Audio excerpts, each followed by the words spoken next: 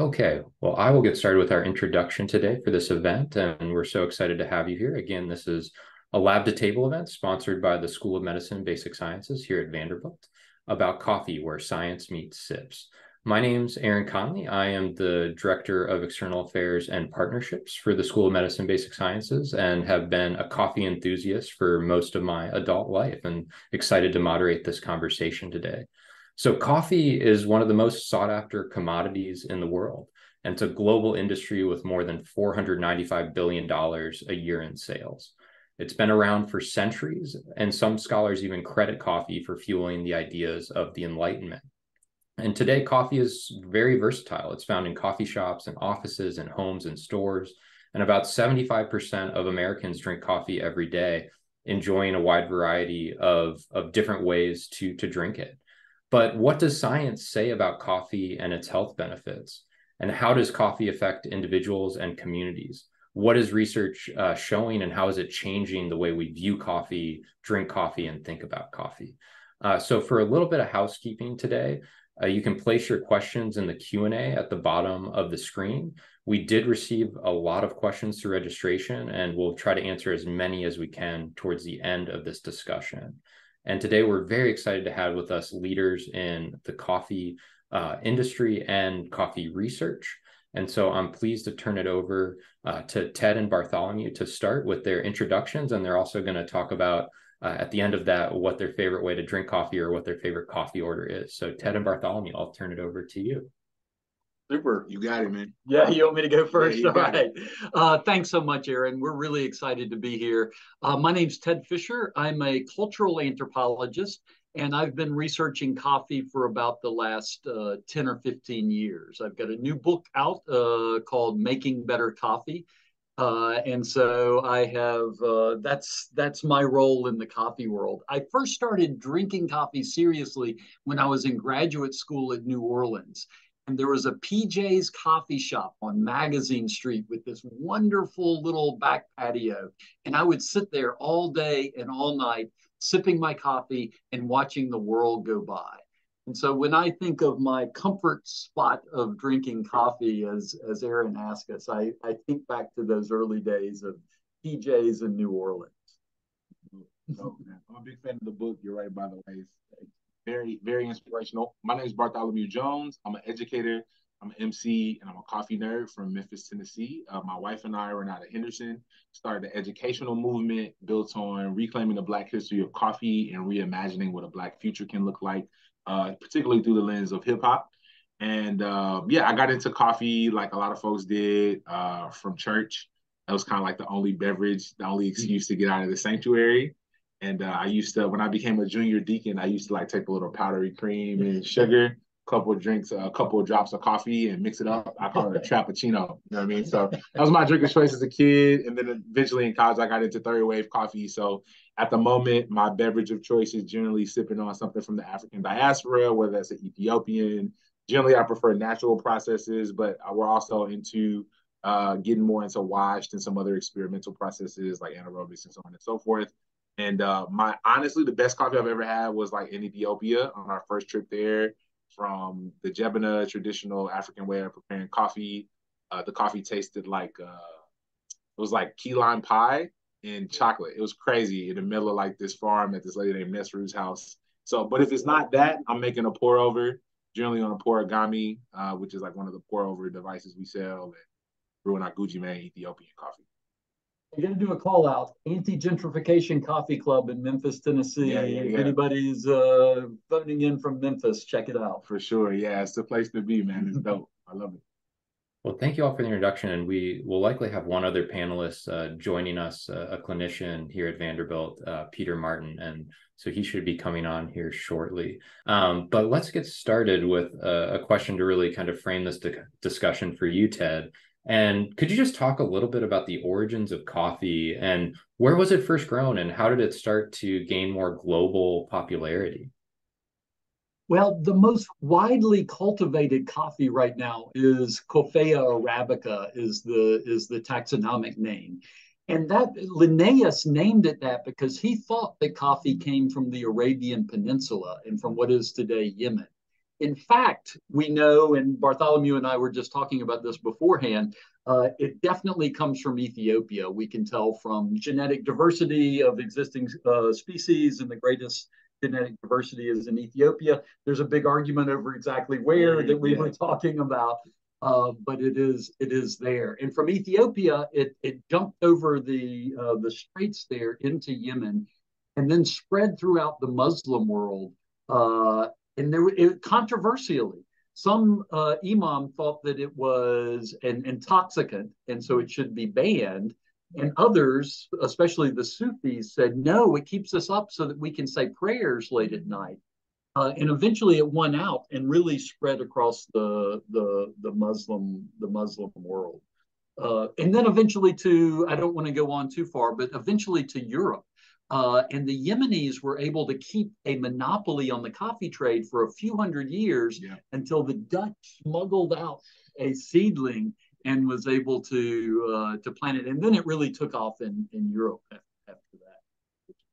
Uh, yeah, the 1616, I believe, is when the QTs were stolen by two Dutch spies. So the story goes, it's try, they try to produce it in the Netherlands. Of course, it's a tropical African fruit. It's not going to grow there and then they go to the island of Java and colonize those people and force them to grow it. Uh, and that's I, I, actually, ironically, why we call coffee Java today is because of the Javanese people who were enslaved to grow it by the Dutch. So yeah, that's a really good uh, point. Yeah, it's interesting, but I think a lot of the the the the way that coffee has spread has been tied to other cash crops uh, that were a part of like the colonial conquest by Europe, and so uh, they got into it because of the spice trade. So they were trying to get into. They had a ton of spices already that they were farming and were looking to add to it. With coffee, it was super popular at the time.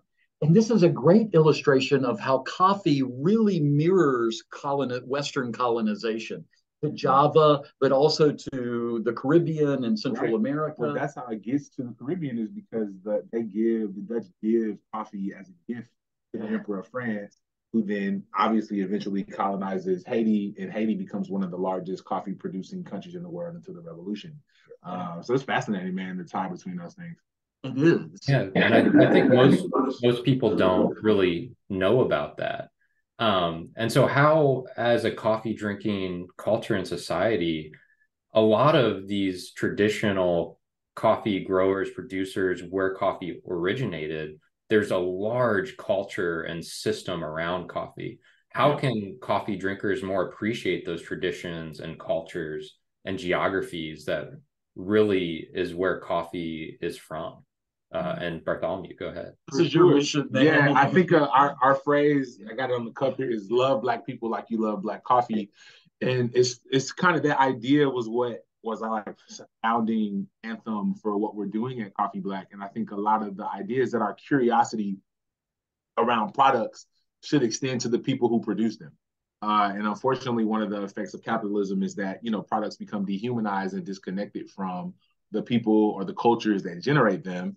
And I think in the coffee industry, what I noticed is that a lot of the curiosity around coffee stopped at the product itself, grind size, water temperature, brew ratio, processing, and all that's cool. It's fun. I self-identify as a coffee coffee nerd, so I love that. But part of my tradition, my faith tradition, was that like, man, you you honor the creator as well as the creation. And so I was like, yo, who made this? Right? What is their belief system around this beyond the way that I'm currently enjoying? What can they teach me about how to better enjoy it? And that is a part of the long story that led us to Ethiopia for our first trip to shoot the documentary and, and build an all black supply chain and like the people group we connected with specifically uh, is the Oromo people that were there and the folks in the Guji zone. And in the Guji zone, there's a long-standing tradition. Uh, you know, 850 BC or so is the date that I received for when they started doing this, but it's called Bunakala, which is a tradition uh, that arose out of the Gada system, which is a democratic uh, system of like engaging with humanity and life and creation. And coffee is central to the to, to the way that people engage in that society. So it affects it's in, in, the coffee ritual is a part of marriage. It's a part of death. It's a part of you know birth. It's it's in daily ritual that people participate in. And within that system arose a belief that coffee was uh, grown from the tears of God and that it was a gift to extend peace between creation and humanity. Long story short, uh, like most people, when they were celebrating, they did a barbecue, right? They would kill an animal, eat the animal, but their belief, like, and this is a belief I, I, think found in a lot of indigenous communities that there should be harmony between us and creation. They began to look for opportunities on ways to preserve life, including the life of the animal that was being sacrificed. And so when coffee became a part of the society, kala means slaughter. So instead of slaughtering or kalaing the animal, they believe we could slaughter the coffee, right? This is a gift from the creator to save the life of the animal. And so they began to roast uh, the coffee cherries, they would take a bite out of it and then roast the coffee cherries in the butter from the animal that would have been killed. So I guess technically that's like the world's first bulletproof coffee. Uh, but that scenario has a, a, ton of belief systems about how coffee is supposed to be consumed. Almost, I, I kind of think about it like church, like there's supposed to be reconciliation before we consume communion. So the idea, uh, this blessing came out of it, which is Bunafi Nagea Hendabina which is in Afaan Oromo. And that blessing means, may your house lack no coffee nor peace. Or I kind of think about it as, may the peace in your home abound as the coffee flows. But the idea is, where there is coffee, there must also be peace. And so, inversely, then, if there is not peace, right, you have to reconcile before coffee is consumed. Uh, and that belief for us has been very instructional and transformative in how we've integrated coffee into our communities uh, in Memphis and beyond and I think that there's a lot to learn from perspectives like that. And again, this is the perspective of one ethnic group, one part of one ethnic group in Ethiopia. I would imagine there's over 80 different ethnic groups in Ethiopia. Coffee is also indigenous to Sudan uh, and other parts of like Eastern Africa. There's a lot to learn. And I think that didn't get exported when the Dutch took coffee out of the port of Mocha in Yemen. And I think that going to learn from those people, asking questions, being curious is the next step in us kind of returning to a more uh, holistic and humanitarian and indigenous perspective on coffee. And if I could jump off of that a little bit, so it creates community. It's crucial to creating community. Mm-hmm, mm-hmm. You were also doing that with your coffee shop in Memphis, creating yeah. community that way. Mm-hmm. And it's also the case that when the Dutch did pick it up, it was not used in that same way, but it started creating a different kind of community. At that time, in the 16 and 1700s, Northern Europeans were drinking about three liters of, albeit low alcohol, but beer a day because it was the safest thing to drink. And then when coffee came onto the scene, it created the space. Coffee shops created the space that were not the church, it was not the state, and it wasn't home. It was this other place for mm-hmm. people to get together. And so, simultaneously, coming out of a centuries long beer buzz, having coffee, which is, you know, uh, focusing a stimulant, focusing concentration, uh, and the and as you mentioned earlier, Aaron, the Enlightenment emerged from those coffee shops, and that's not a coincidence. The kind of different sort of community that got created in Europe. Yeah, I would say that it's it's again from a faith perspective that's embedded into the DNA of this plant has a specific design and purpose. I would be curious to learn more about like the, the chemical structure of the plant and why it actually creates community. yeah. Uh, and that's perfect a perfect transition bartholomew we're, we're so happy to have uh, dr peter martin here and uh, peter could you uh, introduce yourself and then the first question for you is is really to go off what bartholomew is just asking is if you could talk about some of the main components and chemicals in coffee how do they impact the human body and what makes it different from other drugs well uh, I'm, I'm so glad to be with you it it took me about uh, 25, 30 minutes to get on. There's the connection was, uh, I, I mean, I think it was odd. I think part of it is VUMC, Vanderbilt, uh, the, the, the email systems are kind of mixed up at this point. But any rate, uh, I am, um, you know, I've been in this field for uh, probably since the um, mid 1990s when I was approached by well, there's a very interesting story in terms of how I got into it. Uh, what happened was that uh, the, in the 1990s, the cost of coffee was going down tremendously, precipitously. And countries in South America were going bankrupt. Interestingly enough, Vanderbilt has such a large reputation in pharmacology that one of the scientists from Brazil contacted me and, and you know, tried to convince me that coffee was good for your health. And um, everything I had read in the literature at that time as, as a physician was that coffee was harmful. It caused cancer, it caused heart disease, it caused this, that, and the other. And um, then I started reading the literature, and it became very clear that the bad news about coffee was probably related to bad science. And in fact, what they were looking at is people tend to, in the old days, they would smoke cigarettes, drink coffee, drink, uh, you know, you know, associated coffee with all kinds of bad behaviors. And if you factor out statistically what is contributing, what coffee is doing, and what the other lifestyle variables are doing, it becomes very clear that coffee actually is protective. Coffee is healthful. And so uh, we started the Institute for Coffee Studies uh, with funding from uh, the coffee producing countries. And I said right up front that uh, I'm interested in trying to understand how coffee may be beneficial, not that it's ha- not harmful and that kind of stuff.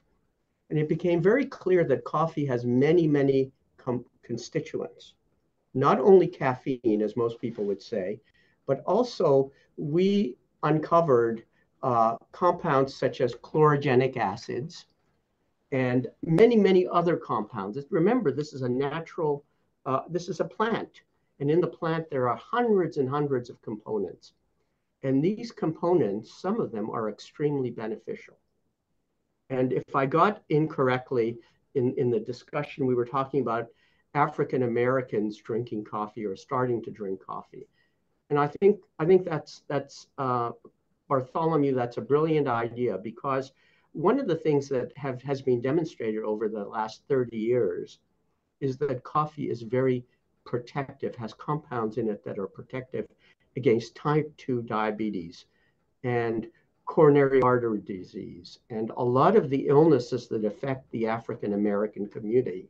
For example, diabetes is um, 60% more common in African Americans than it is in in uh, uh, in white Americans and uh, black Americans versus white Americans.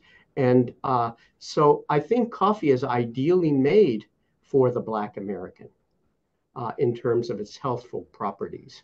Um, there are now over, uh, you know, over 30 studies that have demonstrated that coffee consumption is protective against type 2 diabetes and the other thing that's very important is that decaffeinated coffee can also be protective. Interesting. That's so interesting. Bartholomew, uh, Peter really brought up one of your missions. Could you speak to your mission about growing coffee when consumption? I, for sure. When I got into kind of specialty coffee, like I said, coffee was in my church, coffee was in our house. Uh, my dad was really into Kenyan coffee growing up. He did like a study abroad program with LeMoyne-Owen and like came back passionate about all things Kenyan and eventually got into Kenyan coffee. But I, I hated coffee growing up. I thought it was gross. Uh, I think anything that was the, like any coffee drink that didn't include coffee was kind of my my very like I told you about the Frappuccino, Starbucks, strawberry Frappuccino, like no coffee involved in what I was doing. Uh, and a lot of that wasn't the coffee's fault, right? It was the processes that the coffee I was drinking had been put through, the quality of the coffee I was receiving uh, we all are familiar with the term of like a food desert. A lot of the communities I was growing in were, were coffee deserts, right? The quality of coffee that was available was very poor.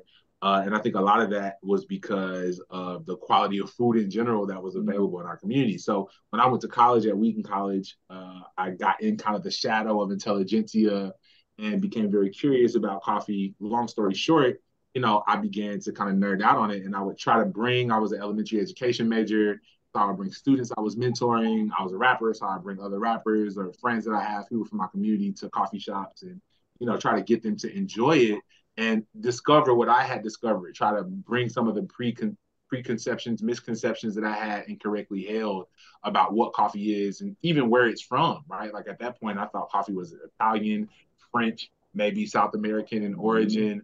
Did not know anything about this like long pre-colonial history of coffee that existed in Ethiopia and Sudan and so on and so forth.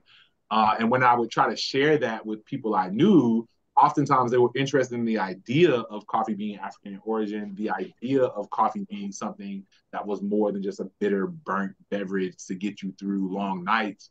But in many ways, like people weren't able to get past kind of the cultural trappings of most coffee shops. And we're all familiar with coffee being seen as one of the four horsemen of the gentrification apocalypse, you know, next to Whole Foods, craft breweries, and small ladies walking smaller dogs. So a lot of my friends were like, hey, I'm just to be honest, it's some white folks stuff. I'm not coming in the shop, right? And so I was used to code switching. I was used to being in spaces where I was kind of a minority, but a lot of the peers that I was mentoring in the schools I was teaching at or people I grew up with weren't willing to do that. So we said, well, what is the environment we can put coffee in that would give people a safe space to be curious? And so that led to Coffee Black as a project. And we kind of started out with the question of do black do black people drink coffee? Uh, and of course, black people were the first people to drink coffee, right? So the answer to that is obviously yes. Uh, but then also, like we found that there were a lot of people in our community who were curious about coffee, but kind of felt like the spaces where coffee was being curated, especially third wave coffee, weren't for them. And so our project has been aimed at trying to increase consumption among African Americans by providing an African context. We call it a culturally congruent experience in coffee. The research right now says that African Americans are twice as least likely to choose coffee as their beverage of choice compared to other ethnic groups within America. Uh, but what we have found is that when the music is right, the vibe is right, the history is correct, the roasting is immaculate, that a lot of people find that coffee becomes something that they never knew that they would love. And the unintended health benefits of that, I think, are also really fascinating because inadvertently we're also introducing people to some of the best coffee on the planet, right? Really high quality, specialty grade coffee, which is a huge contrast to the Folgers or the Bustelo or the community coffee that most of our communities have access to here in the States. That's a great illustration. So this the health benefits that Peter was pointing out and bringing that to the African American population, but it's not just a public health project; it's a political project and mm-hmm. a cultural project as well, which is a nice illustration of how coffee works that yeah. way mm. that coffee brings all of these things together. Uh, and I just wanted to do a follow up point to what Peter was saying earlier and underline that when Peter started this research in the early 2000s, as he said, people saw coffee as a detriment to health. And it was really the research that started here that emerged, and now we see coffee in a very different way. And I love the public health language around this. There was an article in the New England Journal of Medicine not long ago that drinking up to five cups of coffee a day is negatively correlated with all cause mortality. So the more coffee you drink, the less you die. Wow. it feels like it just feels like the first cup definitely feels like the first cup of life in the morning. So. Yeah. yeah. I mean, I think that research started. Uh, there's, there's a theme here, and you know, when we first started the Institute for Coffee Studies, our focus was was purely biomedical, and then um, it was very clear to me that coffee was a lot more than just molecules. It had uh, it had a lot of social, political, economic implications, and um, it has uh, the institute has has blossomed over the last um, uh, two and a half decades into into one that uh, does the sort of things that that that Ted does. And um, let me just underline: you talked about food deserts, and I think it's really important to take the you know the allegory a little further, and that is coffee is actually a food. Mm. Okay, and and and in African in, in, in black neighborhoods there are uh, food deserts. And one of the components of that food desert is coffee. Yeah. And um, access to coffee is is going to be very beneficial, I think, to the entire community. So, so I really like what Bartholomew is is is trying to accomplish. I think to that point, like the anti-gentrification coffee club really started as a joke uh, our neighborhood is facing gentrification like many others. You know, the city made an announcement they're putting seven million at an intersection in our community. And one of my neighbors kept asking me, you know, as we were building the company at the time, we were just kind of roasting shipping out of our house. And um, he was like, man, you guys should do something in the neighborhood. And I was like, no, it's gonna it's gonna invite all the gentrifiers to our neighborhood. Like I don't want to do that. But it kind of made me think, well, what would it look like if coffee shops were not just a place where we served a product from black and brown communities, but it also could be for them too. Uh, and who we hire and who we source from and the aesthetics and the art we choose and the fact that we accept cash. I mean, there's a lot of things that you can go into what what makes something an anti-gentrification coffee club. And to some extent, figuring that out. Um, but one of the things that's been dope has been roasting in our neighborhood, right? And my wife is our coffee roaster. We have an all black supply chain, and part of that is the we do a yearly internship uh, called the SIT program, where young African Americans are able to come and learn about the coffee industry. And like, it's been such a beautiful thing to see. We say all the time coffee is the african fruit. It should taste like it. And um, like one of the things that's so beautiful is seeing people actually realize coffee is the seed of an african fruit.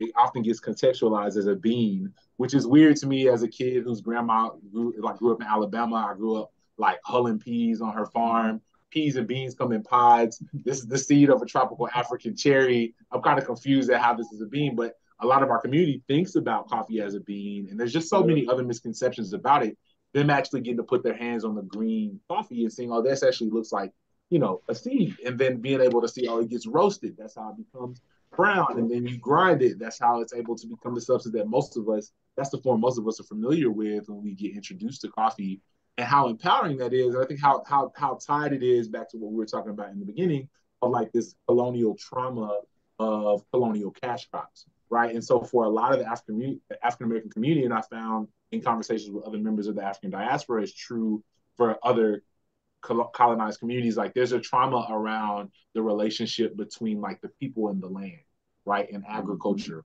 Mm-hmm. And like there's a lot of trauma associated with being a person who picks things from the ground, right? And I kind of asked the question like, how much would you have to pay me for my children to pick cotton, right? There isn't a number you could offer me. It's not an economic question first for me it's a dignity it's a it's a humanitarian question for me it's a theological question of like what is my children's purpose and being associated with this crop has a trauma associated with it and as we've engaged with this work we found like wow okay we're not working with cotton but we are working with something that's picked from the ground grown in the ground. And there's a healing aspect of like finding a pre-colonial relationship with the ground and with nature and with food that's grown from the ground and seeing people who look like us in a dignified form and honoring them in that work has been very healing. And then to extend the project, last year we went on a world tour, a screening tour for our documentary, Coffee Black to Africa.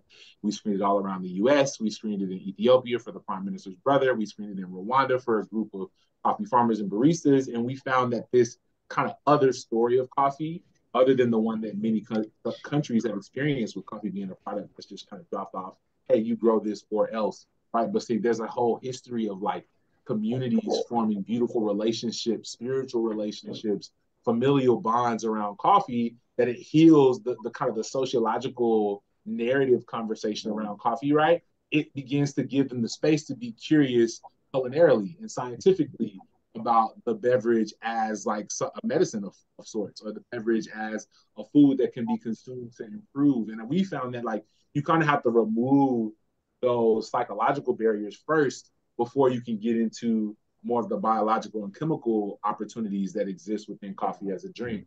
And um, I think that just speaks to like coffee as it is. Like it's, it's always been more than just a beverage. As a beverage, it's truly fascinating. Um, but I think that you can't disconnect kind of the the anthropological conversation from the biological conversation.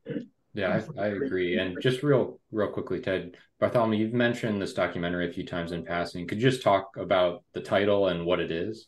Oh yeah, so it's Coffee Black to Africa. Uh, it's the it's a documentary kind of showing our journey uh, coming from Memphis and learning about pre-colonial coffee culture, and then bringing that information from the communities we met in Ethiopia, people like Mike Memo, Ture Waji, uh, Tamaru, who's the lead farmer for the coffee that uh, we sell in the form of Guji Mane uh, from the Guji zone of Ethiopia. Um, all of that, bringing that journey back to Memphis, uh, to the Anti-Gentrification Coffee Club to share. And kind of the background is when we started the project of the Anti-Gentrification Coffee Club, I took a month off of social media. And for background, our company had been, it is primarily an e-commerce company. And so we started in the pandemic, posting, shipping, doing content, podcasts, releasing music, um, content on social media when we started the anti-gentrification coffee club it was important a part of my faith practice is this idea of being incarnational and so like we live in our neighborhood after I graduated from grad school. My wife and I decided we wanted to move back into our neighborhood to be a resource for our community, to mentor, to live, to work, to go to church, all that in the same space. And so uh, when we started the cafe, I was like, I want to be here. And so I had to get off social media. I took a month and just like talk to my community, serve coffee, did all the preconceived there's all these preconceived notions about what coffee is and where it's from and who it's for and why it's bad and a lot even the idea of like don't drink coffee it makes you black. Like that's an old wives tale in the African American community. Mm-hmm. and the idea of why wouldn't you want to be black right? But there's this yeah. conception with being blacker and all of the trauma associated with that from slavery and so on and so forth. I spent time I was just in the community serving coffee telling the story of the farmers we're partnering with and at that time, I hadn't been to Ethiopia, and people kept asking me, like, "Yo, when, are you gonna go to Africa?" And I'm like, "That's a wild question to just ask somebody. Like, have you been to Africa? Like, of course I haven't been to Africa. No African American I knew have been to Africa. Like, it's kind of a, a you know, that's a dream. It's a Marcus Garvey fairy tale almost. And so I was like, I, I, I don't have money for that. I'm trying to get a business off the ground.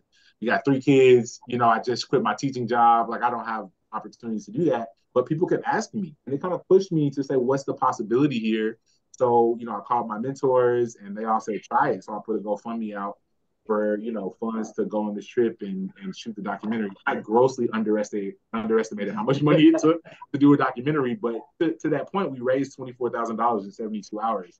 Uh, and people from all around the world donated. We went, we shot the documentary. I had to raise a bunch more money to finish the documentary.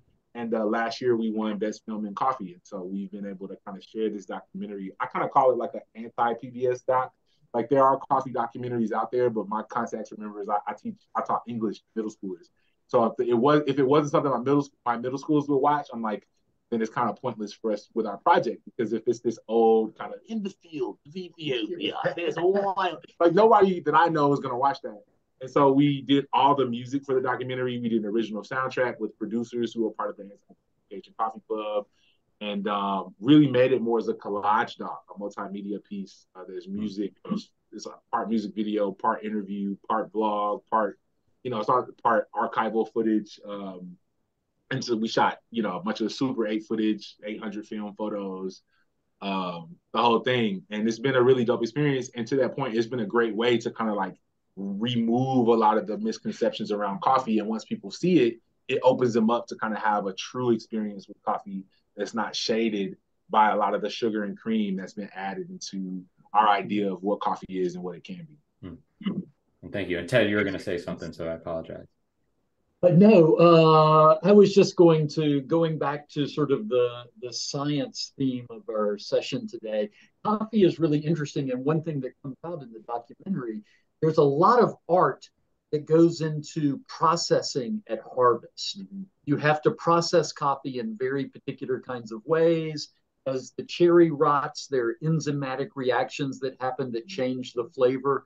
But unlike many other agricultural products, there's also an equally crucial processing that takes place at the point of consumption. So mm-hmm. Bartholomew's uh, wife is the roaster there, and roasting also has these super complicated chemical reactions that change the flavor of the coffee. Do you have these scientific processes going on at both ends, unlike wine or most other uh, most other. And then after it's roasted, like there's almost like a, another equally difficult part. I wouldn't say it's equally as difficult as farming because trying to get up the hills in Ethiopia, I had like oh Ethiopian grandmas lapping me. So that's that's the hardest part is definitely on the farm. But brewing coffee correctly is an art and it's a challenge. And if it's not brewed correctly, it can skew someone's perception of the beverage as a whole. I bet you were drinking percolator coffee at church. Oh, yeah, it was terrible. it's terrible. The brew ratio was off. Like it sat in there for hours and hours. I, mean, I don't even want to get into it, but it was, it was pretty bad. Yeah. No, it's amazing how especially coffee has changed things, and we'll get back to that. But I wanted to ask another question about the health benefits, and just from my own family member's perspective, one of my family members has liver disease, and their doctor has actually prescribed uh, coffee as a additional intervention to help uh, with healing of the liver. And could you speak a little bit more, Peter, to other benefits uh, of of yeah. coffee? And are there any known uh, side effects or or things that people should know about? Well, let me begin by saying that I personally don't know of any harmful effects that have been demonstrated. I mean, that have been categorically demonstrated. But there are some very impressive beneficial effects. Uh, my interest in it is I'm what I'm an addiction psychiatrist, and I'm very interested in in. Um, I made a very the initial observation was, isn't it interesting that patients or people in AA, Alcoholics Anonymous, tend to drink a lot of coffee? Is it is it simply because uh, you know they can't drink anything else, and so they drink coffee they displace their desire to have something in their mouth. Um, when I looked into this more carefully, it was very clear that uh, there was a relationship between uh, the amount of coffee people drank and how problematic their alcoholism was. Uh, possibly, alco- uh, possibly coffee had components in it which were protective against alcoholism. The point that you made, Aaron, was about the liver. Initially, when that study was, uh, you know, those effects on the liver were identified, they were in people who were alcoholic. They had uh, less cirrhosis, less deaths from cirrhosis and from liver cancer, the ones who drank coffee. So that's where it sort of began the notion that coffee had in it compounds that are that combat reactive oxygen species formed by the process of the cell living. It makes toxins you know living is not living involves generating toxins.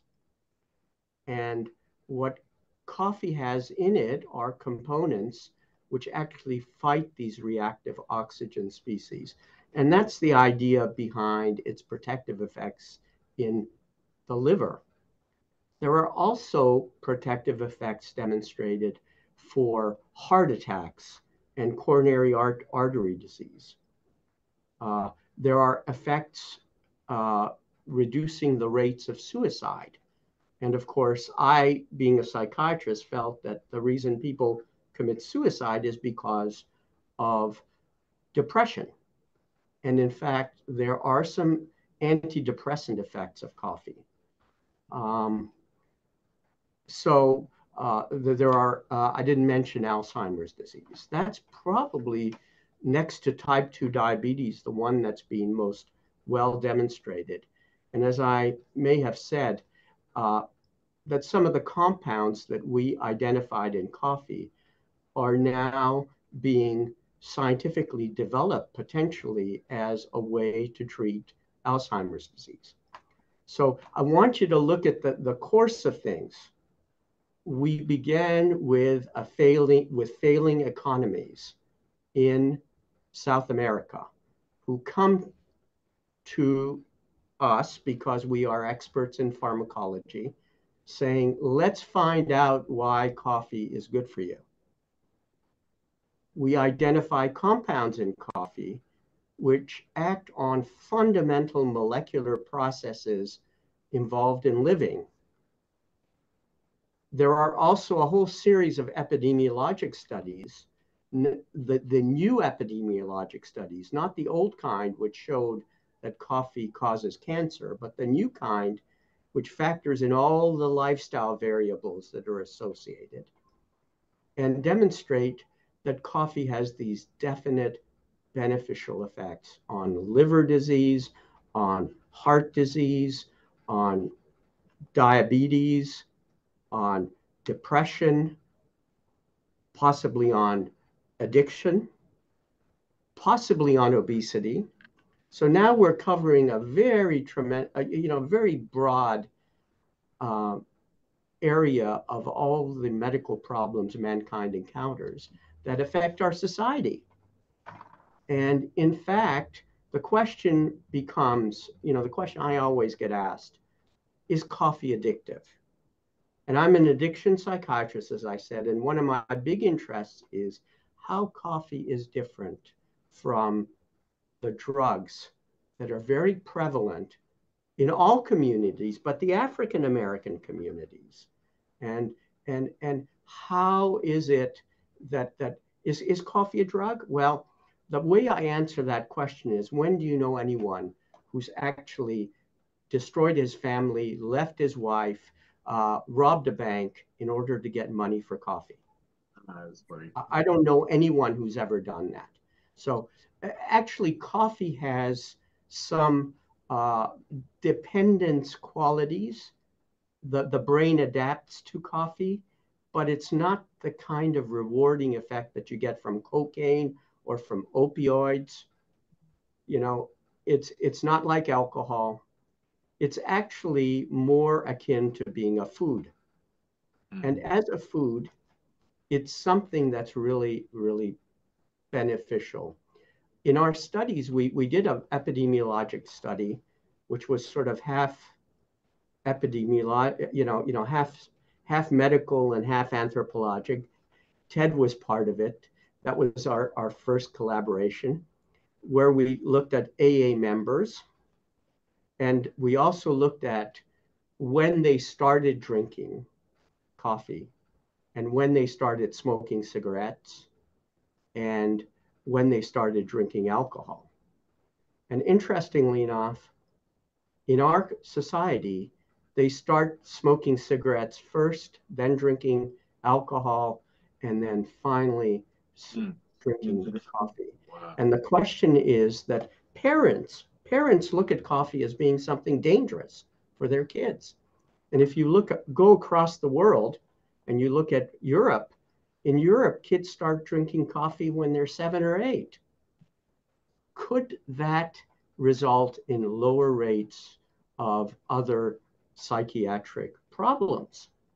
Lower rates of alcoholism, lower rates of smoking marijuana, lower rates of, of opioid addiction.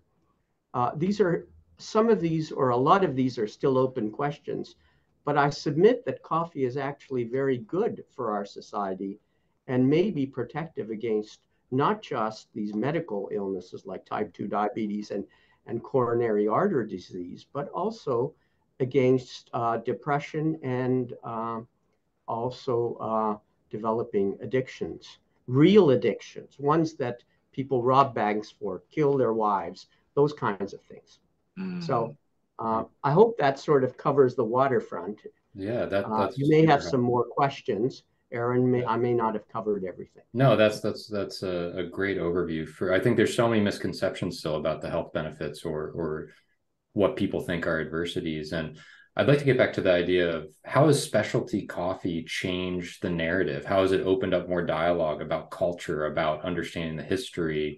Um, and Ted and Bartholomew, could you speak to that a little bit? And then after that, I think I'd really love to hear your thoughts on what is the ethical considerations in this specialty coffee world that people should think about when they're choosing coffees or choosing coffee shops? Well, one thing that it, uh, Peter's comments made me think about, his work and others have shown that coffee is healthy for us. One thing that specialty coffee has been interested in is how to make sure that it's not unhealthy for the people who are producing it. Uh, because it's it is historically a very low wage. Uh, originally, uh, uh labor by enslaved peoples, uh, and then sort of a poster child for poor neo-colonial kinds of labor relations. So that's one of the interests. And I'll get the ball rolling and hand it off to Bartholomew. But just by saying, in the coffee world, we often talk about there being three waves and the first wave is like Folgers and Maxwell House and, and supermarket commodity coffee. The second wave came along in the 80s and 90s here in Nashville, places like Bongo Java, and then nationally, I guess, sort of Starbucks amping up the level. And then lately, we've had what are called third wave coffee shops.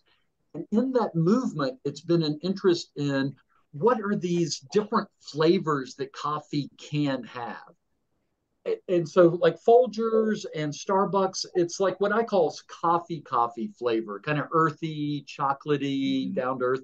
What's really popular these days, and what Bartholomew is really great at roasting, uh, is natural coffees, East African natural coffee, where the cherry is allowed to rot off the bean, and it creates these and citrus and fruity notes that when I first tasted it, I thought this isn't good coffee because it tastes so weird. Yeah. But then when you start to see, wow, coffee can be made to have all these different flavor profiles.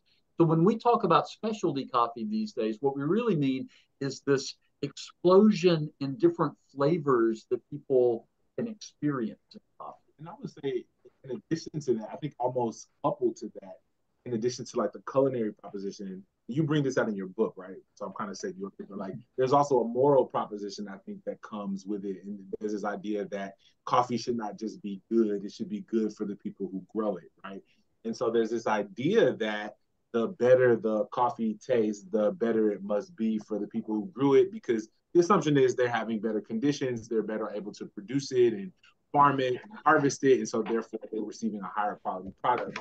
And though that can be true at times, right? It, it oftentimes is not. And I think um, that reality is a part of what we began to see first in my community. Like I started noticing that many of the coffee shops that were popping up in communities where black and brown people live that I was around, like did not have any black and brown people inside of the shops. And so, uh, though I was having this really interesting, very nerdy culinary experience, getting into these different flavor profiles and processes for brewing it and learning about how it was prepared, there was very little culturally that would identify this product as something that was first discovered in African communities and then grown around the world in black and brown communities. Like there was very little of that culture present besides like a very long description on the bag and then some notes about, you know, where how high the elevation was. And so I began to say like what would it look like again for uh, society not just to love single origin coffee, but also single origin peoples, right? And that led us to this the project uh, of kind of taking people kind of call what we do fourth wave coffee. Some people say it's fifth wave coffee. I'm not particularly interested in the waves. I always say as long as nobody drowns, I don't care what wave we're in. Um, but I think the idea that coffee should be and has kind of like a moral obligation associated to it, I think is is you could say is unique to the third wave of specialty coffee Maybe second wave of like fair trade, I guess.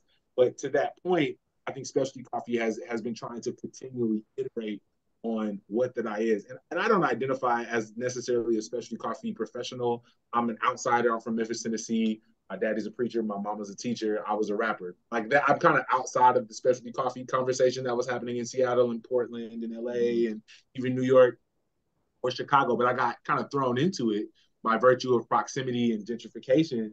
And so, having been in this space for the last eight to seven years or so, I found that like there's a lot more work to do for the proposition of specialty coffee, the moral proposition anyway, to actually hold true to what people say it is. And, and to that point, I think it is important for us to reconcile with that because there's there, there can be dishonesty if we continue as we are because the idea that this coffee is not only better tasting but better for the people who grow it is a part of the reason that roasters use to justify exorbitantly high prices on the coffee they're selling. Like the idea is, hey, you pay me more for coffee, I can do more good for farmers.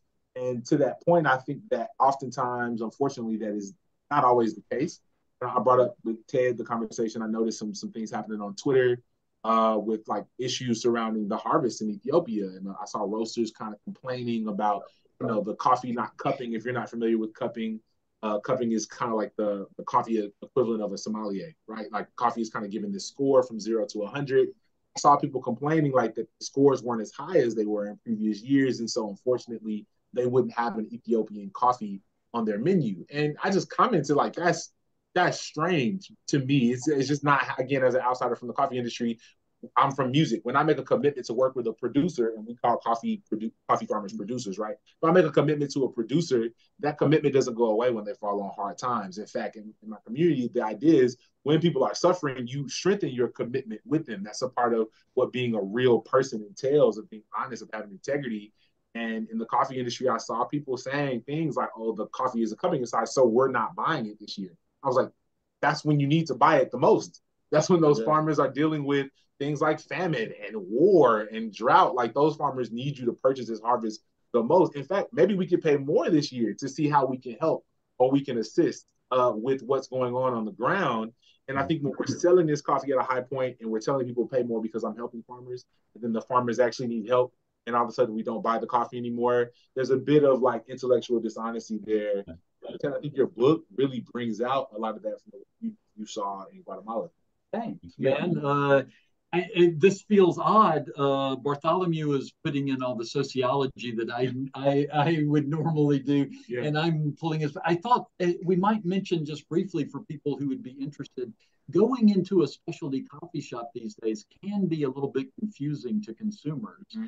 Uh, and so, a couple of things to look out for. There are two main. Most of the coffee in a coffee specialty shop is going to be of the species Coffea arabica. Every once in a while, you'll see a Robusta or a Liberica, but mostly Coffea arabica.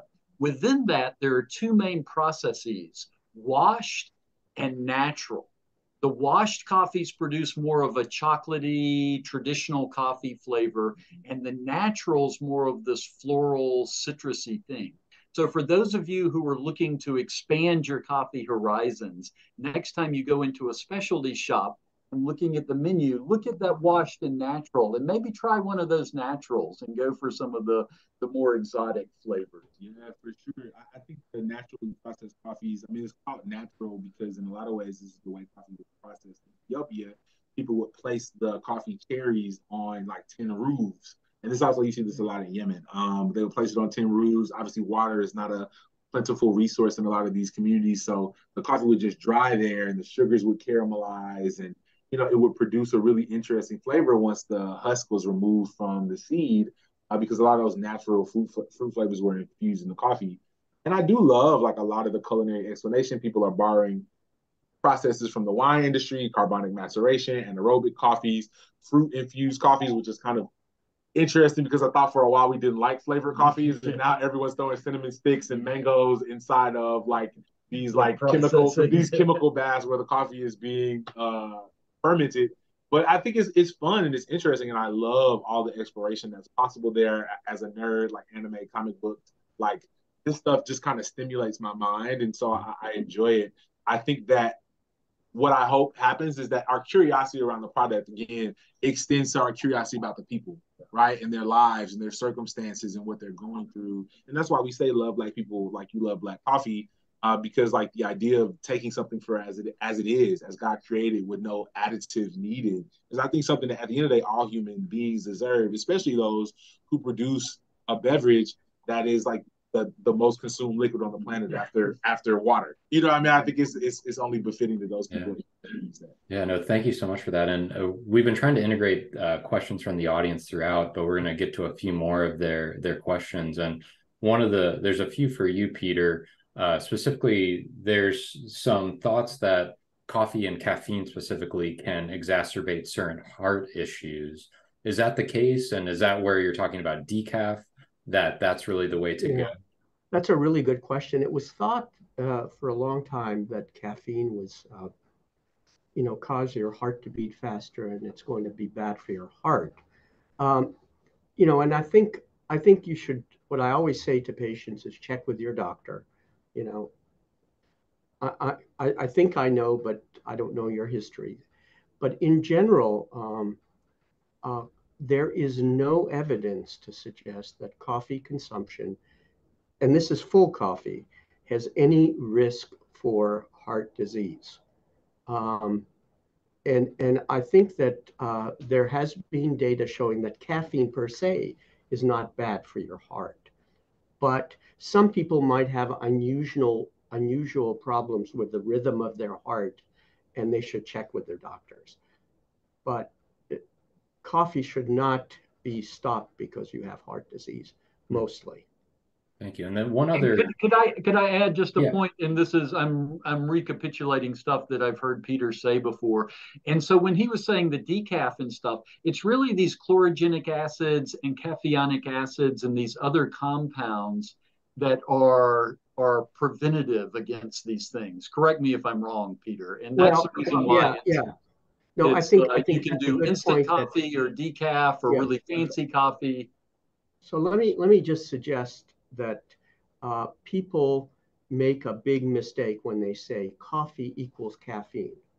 Coffee has caffeine in it, but it has thousands of other compounds. And as Ed as Ted was saying, uh, most likely the beneficial effects are not really caffeine, although some some of the beneficial effects of coffee, for example, for Parkinson's disease, has been suggested due to, due to caffeine. But in general, the beneficial effects are not the caffeinate, are not caffeine. And uh, that's kind of important. But but I think that that that people sort of say, I have heart disease, I can't drink coffee because the caffeine makes me wired and all that kind of thing. And that's what I hear most often. And I think the, the data show that that's not true. One of the other big questions, one more medical question, then we'll get to a closing question, is about how does coffee interact with IBS and Crohn's, or is it connected to acid reflux or things like that? So how does it connect with the gut and how does it connect in that way? Yeah, it can cause acid reflux. And, um, you know, there are ways of sort of preventing it by, you know, sort of drinking it not at night, but earlier on in the day. There is some research ongoing to make special formulations of coffee that are less or more gut friendly. But but you know, uh, some people do get do get irritable bowel. But irritable bowel is present for a whole variety of reasons, and uh, sometimes to equate it with coffee is is is premature for an individual. Yeah. Let me just say, because you know I haven't had a chance to, to mention this, this is kind of important and it ties together with the different forms of coffee. Um, it's really important to, to note that the preparation of the coffee can actually influence the concentration of the beneficial components in the coffee. We did research which showed that a lot of these compounds when when the roasting starts, they go up in concentration. But if the roasting continues, then they are broken down by the heat from the coffee, from the roasting. So it's very important. Uh, you know, if you have a choice, take moderately roasted coffee or lightly roasted coffee rather than heavily roasted coffee. Uh, incidentally, heavy, heavily roasted coffee also interferes with the flavor of the coffee. So if you want to have fine coffee, don't have have don't have uh, greatly roasted coffee. Have moderately roasted coffee. Yeah, I think. And then the last point, which I think is very important and, and the audience needs to hear, I'm often asked, "What coffee is best for my health?" And I all my answer typically is drink coffee but drink it black without sugar or without all the kinds of emollients that people give put into coffee because those are typically fat and carbohydrates and they're not good for your health. It's coffee, pure coffee, black coffee. That's black. I like that. I like that. That's the one that's healthful. And uh, the last question is I'm often asked, how much coffee can I drink, doctor? And my answer is drink all you want, as long as you can sleep at night. If you can't sleep at night, cut back your last cup of coffee of the day and keep on cutting back until you can sleep at night because sleep is every bit as important as coffee is.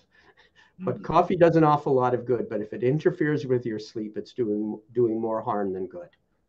That's a really important point. And uh, we'll close out with with this question. I'd, I'd just like to give this to everybody.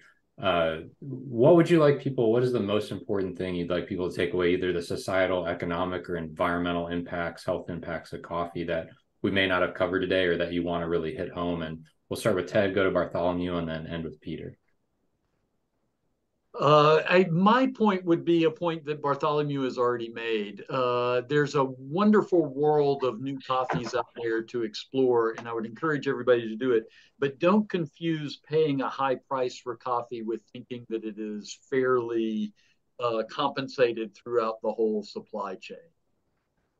For sure, uh, man. I, I, would just say like uh, be curious uh, and extend your curiosity beyond the product and extend that towards the people. Uh, coffee is 495 billion dollar industry according to the president of Uganda. Uh, African countries uh, receive less than one percent of that, about two billion dollars.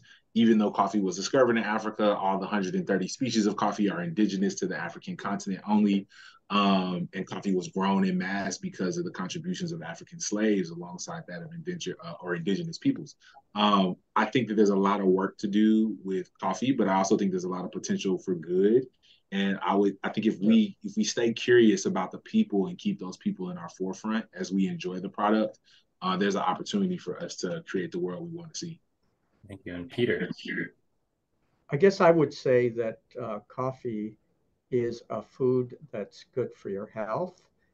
And we would be a lot better off if people started drinking uh, black coffee early on in life instead of sugared uh, soft drinks. Thank you so much. I like this guy. And thank you so much, everyone, for attending today. We saw we couldn't get to all the questions. We had a lot submitted, both in registration and today, but we're excited to share this conversation. will be posted on YouTube and we'll follow up via email uh, early next week with some links, especially to the documentary, to Ted's book, um, and look forward to y'all taking part in more dialogue about coffee. So thank you so much. And please join us in the future for Lab to Table. Hope everyone has a great day. Thank you, everyone. Thank you. Bye bye.